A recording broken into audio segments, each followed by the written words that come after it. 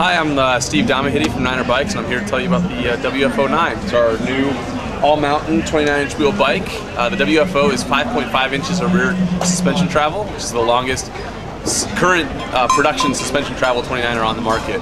Uh, we're also the first 29er uh, to be Hammerschmidt compatible with our with our bike, and that's a pretty important feature. some other bikes aren't aren't working so well with the Hammerschmidt system, which is an internal two-speed system that SRAM is making, but the WFO is completely compatible both with the gear size and uh, with the compatibility of mounting it to the bike. So it's a pretty important feature. One of the uh, one of the main cool features about the Hammerschmidt is that this is actually a two-speed internal uh, shifting system. So it, it, actually starts with a 22 tooth uh, chainring and then internally shifts into a 34 or 36 depending on how you have it set up.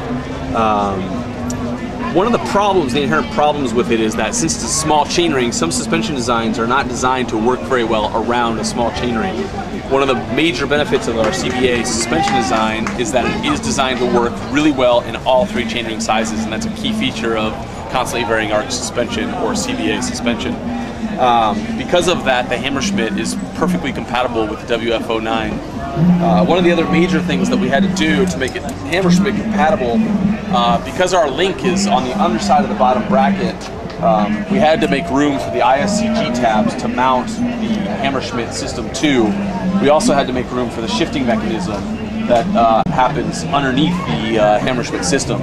So this uh, linkage, if you can see, had to be offset um, as it came into the bottom bracket pivot in order to make room and accommodate the shifting mechanism and the ISCG tabs for the Hammerschmidt system. Uh, it was really important for us to make sure that this bike was Hammerschmidt compatible. We really feel like it's a it's a really good match for a bike with this much travel to have the uh, the internal shifting system of the Hammerschmidt. So we, we really out of the gate were very concerned and wanted to make sure that this bike was ISCG compatible. If you don't want to run Hammerschmidt, we also have a uh, bolt-on derailleur system that Shimano offers, which is another important feature. Um, is this bolt-on system right here? It's a direct mount Shimano derailleur that we actually co-developed with them um, for fit uh, on a 29-inch wheel bike. There's a lot of challenges with fitting a front derailleur on a long travel 29-inch bike and keeping the chainstays short. So uh, we actually worked with Shimano on this plate mount system so that we can uh, uh, angle the derailleur however we want to angle it and not have to worry about the tube angle that the uh, derailleur would normally mount to.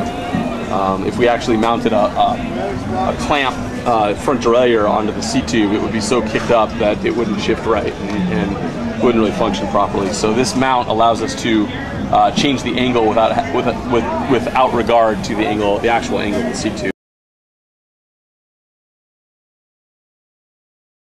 We've been in development with uh, the WFO for kind of since we started CBA, suspension travel. When we uh, went into development for CBA, it's a proprietary suspension system, to niner bikes, and we designed it first as a long travel bike. We've had a six inch travel prototype 29er bike since almost since the company started. Like a year after we uh, began as Niner Bikes, we had already started prototyping six inches of travel suspension bike, which was four years ago, three years ago, really. We had uh, we had started prototyping this design. Um, the WFO has gone through a lot of refinements over the years, and we've learned a lot about uh, 29ers, about uh, energy, about uh, stiffness, about all that stuff. So on this particular bike, we have a lot of hydroform tubes that offer increased stiffness and strength.